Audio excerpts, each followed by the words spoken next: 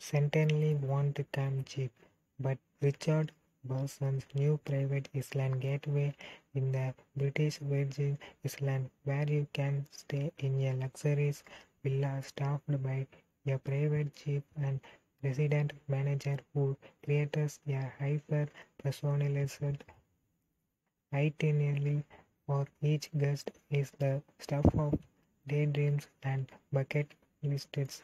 British billionaire Branson, who made new in July a space trip on